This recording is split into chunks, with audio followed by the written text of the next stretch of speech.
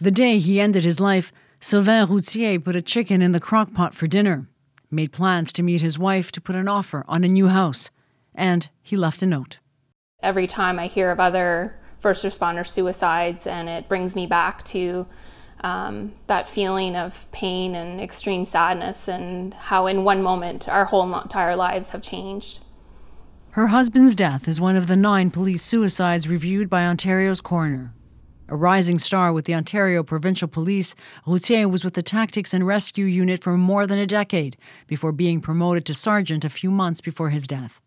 The transition was rough. Years of witnessing trauma had taken a toll. And Sylvain was the first one to say that he didn't want to tell me a lot of the details of stuff he saw at work because he didn't want me to have nightmares and he didn't want to burden me about it. But when when that police officer has no one else to speak to, then they internalize it and this is the type of thing that can happen. Silence, shame, a deep sense of duty and identity as officers. All common factors the coroner found in all the suicides. So when they lose that identity because they're not fit for duty, um, use those terms from a policing culture, that makes them already worry about themselves. They don't they, they suffer the, the consequences in themselves. The coroner found an urgent need to normalize the conversation around mental health and to make help accessible.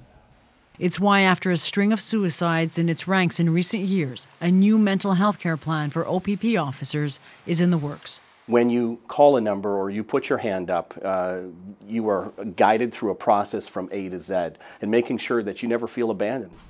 That is some comfort for Routier. So is speaking out about her husband's death.